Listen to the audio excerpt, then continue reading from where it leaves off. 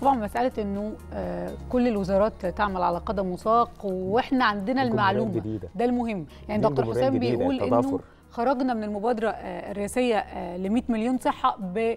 وده شيء مهم جدا الحقيقة ما كانش بيبقى موجود قبل كده عندنا معلومات كام مريض محتاج يتعالج من الاعتلال الكلوي وابتدينا نعمل لهم مبادرات ونوجههم للأماكن آه، اللي المفروض يتعالجوا فيها كل حاجة بتحصل في مصر دايما ببني عليها بتديني مؤشرات لإيه اللي بيحصل.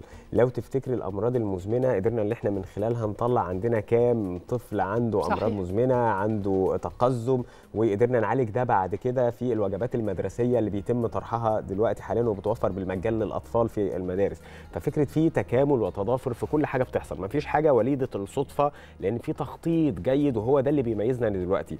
خلونا نقول كده ما بقيناش بالبلدي بنبص تحت رجلينا. لا إحنا عندنا نظرة مستقبلية لدوله بتطمح إن هي مش فكرة اللي هي تتقدم فقط لكن هي تنافس كبرى الدول المتقدمة في كل المجالات الحقيقة وده مش أمر غريب على الجمهورية الجديدة صحيح يعني. وإحنا كمان هنا بنتكلم تحديدا عن تجهيزات وزارة الصحة لأجازة عيد الأضحى المبارك بنتكلم على مرور على منشآت غذائية علشان نتأكد من يعني جودة اللحوم اللي موجودة فيها بنتكلم على تمركزات سيارات الإسعاف وربنا طبعا يعني يحمي الناس كلها لكن برضو بنتكلم على إنه تغيير للتمركزات على حسب المعلومات الجديدة. آخر المعلومات فين الحوادث بتحصل عشان نكون قريبين ونقدر إنهم فن يلحقوا الناس لا قدر الله. التخطيط يا ديرو فكرة إحنا دلوقتي بنشوف على الطرق كاميرات مراقبة موجودة تقريبا كل كام كيلو في كاميرا دلوقتي موجودة. دي الهدف منها إيه؟ الناس ظنت في وقت ما إن الهدف ده إحنا بنتراقب. لا هو مش مراقبة.